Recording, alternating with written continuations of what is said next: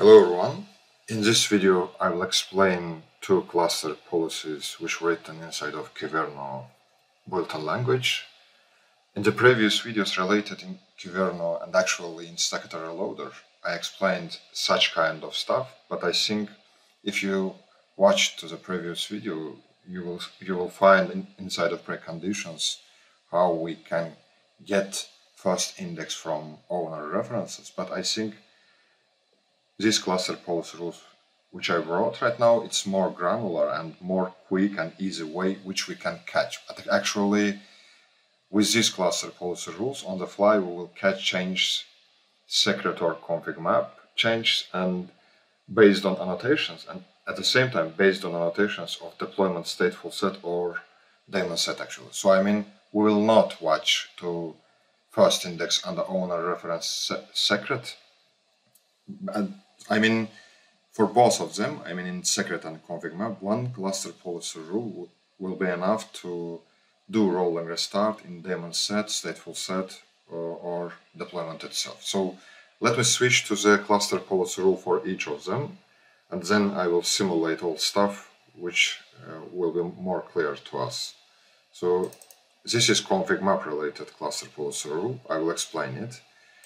It says if object will match to the config map. In this case, it will go to mutate under spec template metadata annotations with this key and on the fly it will get from admission review which comes on change config map resource version will be set here like as value to this key uh, which will defined under spec template metadata annotations. And in this case, our target will be at the same time deployment, daemon set or stateful set if our preconditions will map will match for each of them. So actually it is AND. It means if admission review request operation will be equal to update, so it means actually any change inside of config map will be equal to update. I mean, if even if you will change any label, add label, change annotations, add annotations, it will come like as request operation update. Do that. It's not a good way to analyze only update event. And second one is says, if inside of request object metadata annotations will be key request uh, Kyverno of Solan read with value allo. So what does it mean? It means inside of secret and at the same time config map must be defined this annotation to catch must I analyze this config map or secret or not. If it is defined, it's matched for two of them. And third one is equal_fold function, as I said before, inside of secret or config map. If, if we will change anything given on the label or annotations, it will be equal to request operation update and restart can be happened. It's not a good way. Actually, we must analyze any change on the data key. It is right place where it is changed and do that we must do rolling update. And equal_fold function do compare between old object data key and actually this is new object data key and it is old object data key. If they not equals it means on the data something changed and we must do do for deployments daemon set and stateful set in case of if we will look the target object. Actually in this case of course we would uh, stateful set in this daemon set and in this deployment. In the same namespace where matched name kind comes i mean in case of config map we'll look inside of admission review kind which comes from admission controller request object metadata namespace and inside of same namespace if kind deployment inside of this deployment must be present under annotations this key actually this one, with value allo. The same thing for daemon set kind and stateful set kind.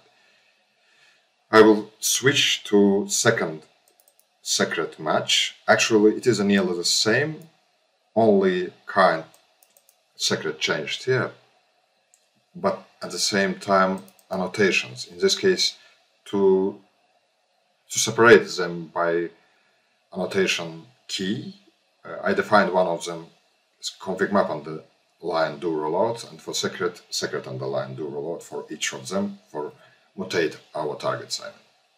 So even to patch I've defined here it is secret version even inside of config map we can find it will be config map versions and secret version. Yeah, this one. But uh, all this stuff nearly the same. I will not spend time on that. I will switch to config map to, to show what I defined here. So actually, as we see, under annotation, we have Kyverno epsilon read with value allo, which defined here if inside of config map will be defined this key with this value. So it is signal to us to catch this secret change.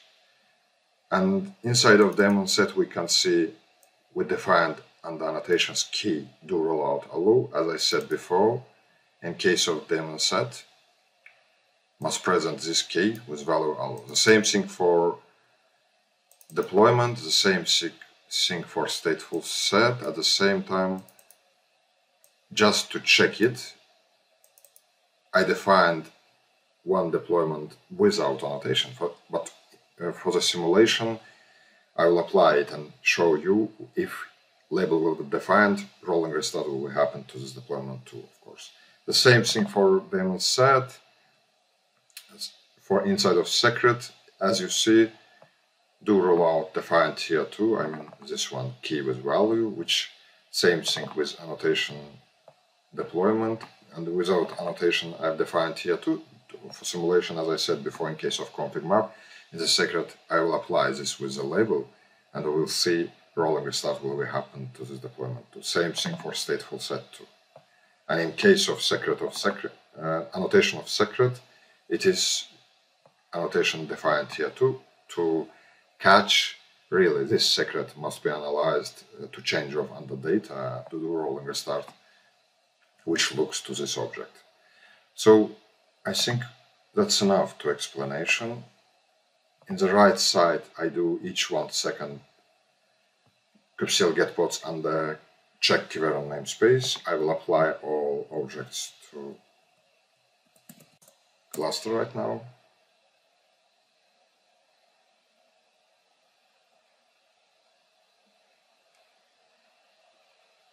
So it is applied. I will switch to, we don't need this part, I will close it quickly.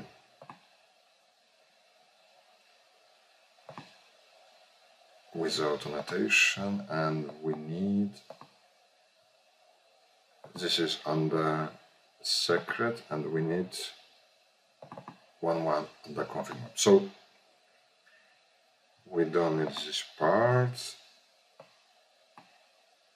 Just look at this. I will change or add new key under config map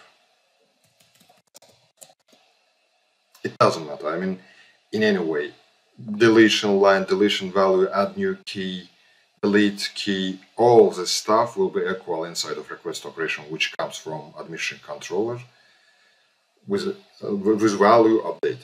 It means any change here will be equal to update event. So I will apply under which one, config map, config map.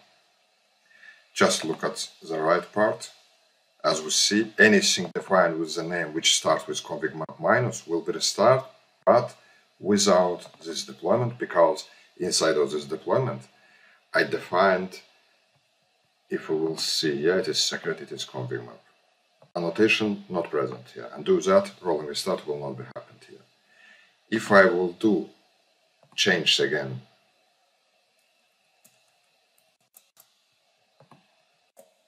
to be more clear with more change with the times.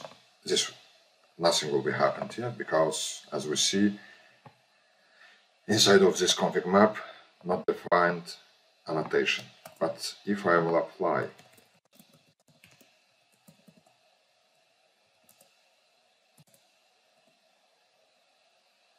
label defined and change config map again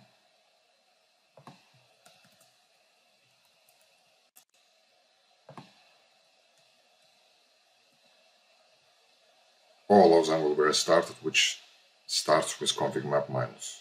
As we see, all of them started. And Right now I will switch all of them, which starts with a secret. If I will go to the secret and try to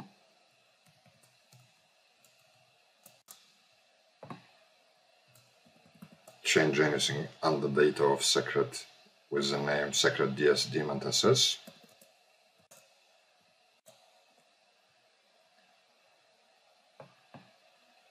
All will be restarted without secret daemon without annotation because as I said before label not defined here. Even I can check it again we will see if I will delete it and apply again. All of them will be restarted I mean, which start with a secret because it looks with annotation which defined for the secret.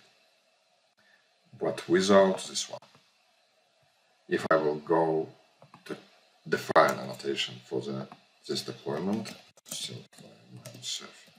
secret deployment without annotation and change secret again.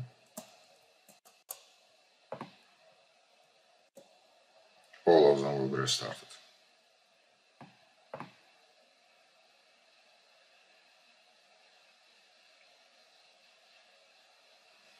So that's it actually. I will push all code related which I have used here to the Kyverno repository. I hope it will be useful.